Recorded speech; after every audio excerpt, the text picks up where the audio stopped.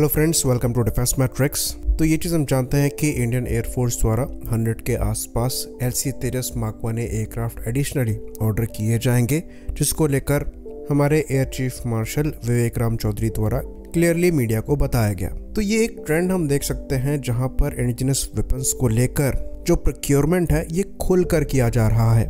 Even अब जो report आ रही है, उसके हिसाब से जो नेत्र मार्क वन हमारे द्वारा यूज़ किए जाते हैं, जो कि डीआरडीओ अवैक्स भी कहे जाते हैं। इन्हें छः के नंबर में और लिया जा सकता है।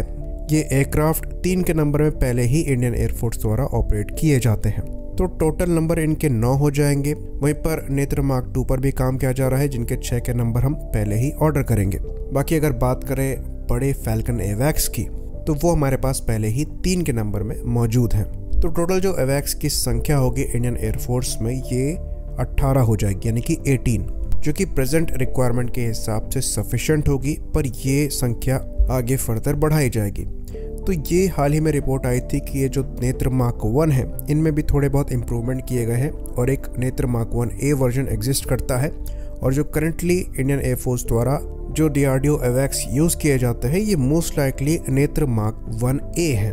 तो हाल ही में हमने ये ट्रेंड देखा है कि इंडियन एयरफोर्स जो है जो रिसोर्सेज अवेलेबल हैं, उनको पूरी तरीके से यूज़ करने के लिए तैयार हुई है। पहले हम ये देखते थे कि एयरफोर्स द्वारा पर्टिकुलर रिक्वायरमेंट्स सामने रखी जाती थी और उसको पूरा करने के लिए जो प्रिक्योरमेंट प्रोसेस हैं, वो सालों साल चलते थे और जो रिक्वायरमेंट्स हैं, ये सालों साल पूरी नहीं होती थी।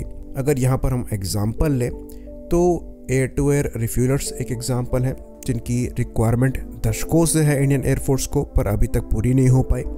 उसके बाद अगर हम एमआरएफए के अंतर्गत 114 एयरक्राफ्ट को देखें तो ये भी रिक्वायरमेंट दशकों से है, अभी तक पूरी नहीं हो पाई। और ये एक्सपीरियंस एयरफोर्स को डेफिनेटली मिला होगा कि जो पर्टिकुलर रिक्वायरमेंट रखी जाती हैं, उनको लेकर R F Is R F P निकाली जाती हैं। उनके इंतज़ार में दशकों तक इम्पोर्टेंट कैपेबिलिटी गैप हमें फेस करना पड़ता है। तो जो एग्जिस्टिंग रिसोर्सेज हैं, उनको इस्तेमाल करना यहाँ पर सबसे अच्छा ऑप्शन है। और जब आपके पास एक एयरक्राफ्ट है जो कि काफ़ी कैपेबल एयरक्राफ्ट है, अगर आप अगर आप अपने वेस्टर्न नेबर के हिसाब से देखें तो उसके नंबर बढ़ाने चाहिए और इसी के अंतर्गत L C Tejas mark one के नंबर बढ़ाए जा रहे हैं, क्योंकि J F seventeen block three या फिर उसके फ्यूचर वर्जन से तेरस मार्क वन एक बेटर प्लेटफॉर्म रहने वाला है। हाँ एम के अंतर्गत जितने भी पार्टिसिपेंट हैं, वो थोड़ा ज़्यादा बेटर हैं, पर उस थोड़ा बेटर के चक्कर में हम दशकों बर्बाद कर चुके हैं और फ्यूचर में भी अनसर्टिनिटी रहेगी। जो कि हमें कॉस्ट करेगी। तो ये जो एग्जिस्टिंग ऑप्शन है, ये ज़्यादा बेटर है। सेम केस एवैक्स के साथ भी था। कहा यह जा रहा है कि शुरुआत में ही नौ एवैक्स ऑर्डर कर दिए गए होते, लेकिन बीच में एवैक्स को लेकर काफ़ी कुछ खींचातानी रही थी। पहले कैब्स द्वारा एक बड़े एवैक्स पर काम किया जा रहा था, वो फाइनलाइज नहीं हो पाया। उसके बाद जो फैल्कन एवैक्स है, इनके एडिशनल नंबर लिए जाने थे, वो भी फाइनलाइज नहीं हो पाया। उसके बाद नेत्र मार्क टू का कॉन्सेप्ट आया, जिस पर काम चल रहा है। पर फिर भी इंडियन एयरफोर्स की जो अवैक्स की रिक्वायरमेंट है, ये अभी भी कम रह गई है। तो नेत्र मार्क वन या फिर mark one A definitely Netra mark two या फिर जो फैल्कन एवैक्स है, उतने कैपेबल नहीं है। पर फिर भी ये हमारी रिक्वायरमेंट को पूरा करते हैं और इनके ना होने से होना हमारे लिए काफ़ी ज़्यादा बेनिफिशियल है। तो इसे लो हैंगिंग फ्रूट कह सकते हैं, जो कि हम काफ़ी समय से अवॉइड कर रहे थे। ये कोट हमने सुना ही है कि क्वांटिटी भी एक तरीके की क्वालिटी है। और हमारे केस में चाहे तेरस मार्क वन ए हो, चाहे नेत्र मार्क वन एवैक्स हो, ये क्वालिटी में कहीं से भी कम नहीं है। हाँ इनसे बेटर एयरक्राफ्ट एग्जिस्ट करते हैं, पर ये भी कहीं से कम नहीं है। बाकी ये चीज़ भी हम साफ़ कर दें, पहले भी हमने कहा है, इनके जो छः के नंबर में एयरक्राफ्ट लिए जाएँगे। ये ऐसा नहीं है कि हमारी रिक्वायरमेंट को पूरा कर देंगे, भले ही टोटल एवैक्स हमारी सर्विस में 18 हो जाएँ। तो अगर हम 42 फाइटर स्क्वाड्रंस को प्लान कर रहे हैं तो इन 18 में सिक्स और एवैक्स को ऐड करना ज़रूरी है।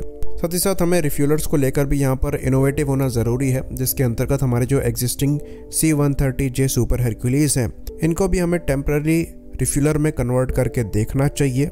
साथ ही साथ ये जो C two nine five aircraft हमारे द्वारा रिसीव किए जाने चालू किए गए हैं, इनके भी रिफ्यूलर ऑप्शन को हमें एक्सप्लोर करना चाहिए, जो कि वॉर टाइम में हमारे लिए काफ़ी ज़्यादा बेनिफिशियल हो सकते हैं, क्योंकि इनके अच्छे खासे नंबर्स हम एक्वायर कर रहे हैं।